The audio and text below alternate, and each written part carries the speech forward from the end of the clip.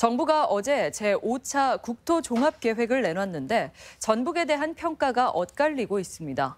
문화관광 분야는 선방했지만 경제산업 쪽은 많이 아쉽다는 반응인데요. 사업이 광역권으로 이뤄지다 보니 그간 시도 간 유대 강화에 소홀하지 않았는지 점검이 필요해 보입니다. 강동엽 기자입니다.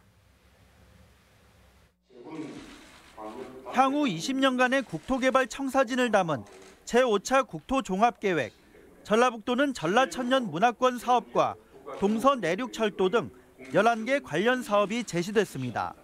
협력적 관계에서 뭐 인구 감소라든지 아니면 저성장이라든지 하는 미래 위기에 대응할 필요가 있다고 판단을 했기 때문에 하지만 내용을 꼼꼼히 따져보면 아쉬운 부분이 많습니다.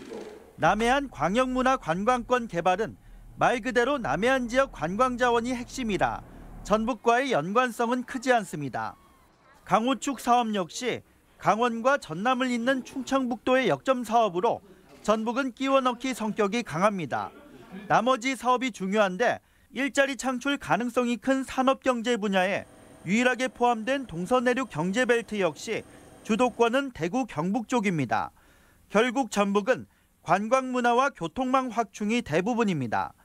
경남과 수도권에서 산업 클러스터와 물류 플랫폼 등이 촘촘하고 다양하게 구상되는 것과 대조적입니다. 특히 인근 광주 전남은 대구 경북과 달빛 동맹으로 부산 경남과는 남해안권으로 유대를 강화하면서 성과를 거두고 있습니다.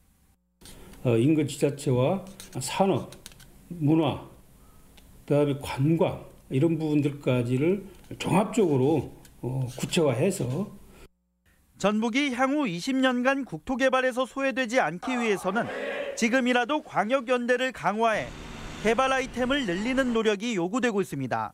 MBC 뉴스 강동엽입니다.